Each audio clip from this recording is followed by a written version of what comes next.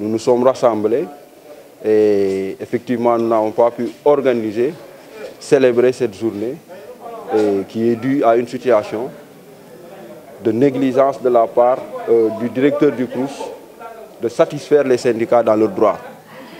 Le syndicat avait coutume depuis près de 11 ans d'organiser cette journée en rassemblant les travailleurs euh, au bénéfice d'une subvention que la direction accordait.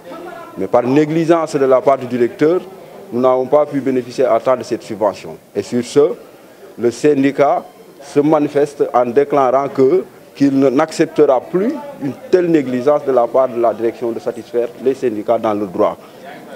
Et sur ce, nous avons déposé une plateforme à la date du 11 mars, une plateforme qui regroupe sept points. Nous demandons exclusivement au directeur d'ici une semaine de gérer cette plateforme et de satisfaire les droits des travailleurs, car le syndicat est là pour veiller aux droits des, travailleurs.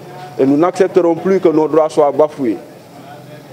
Euh, nous n'accepterons plus que nos droits soient bafoués, non seulement, mais nous promettons d'agir en cas de négligence supplémentaire. Depuis la mise en place de ce CRUS, euh, le CRUS évolue sans une direction des ressources humaines. Et comme vous le savez dans une gestion, il y a deux, parts, il y a deux parties phares qui sont la direction financière et une direction des ressources humaines.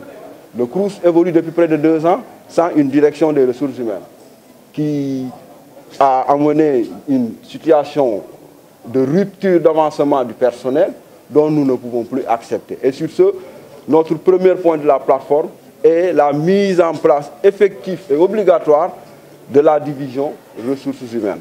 Le deuxième point est la mise en place de la commission d'avancement et de reclassement du PAS. Un point qui dépend directement du DRS. Euh, le troisième point est le paiement automatique des avancements transférés par le coup. Le syndicat a été suffisamment responsable. Nous avons prôné le dialogue. Nous avons fait le dialogue parce que nous faisons partie d'un central, la CNTS, qui a toujours préconisé le dialogue. Mais nous avons épuisé le dialogue. Et sur ce, nous demandons au directeur qu'il est encore temps pour lui de s'exécuter à régler les droits des travailleurs. À défaut, le syndicat promet d'agir et de passer à une vitesse supérieure.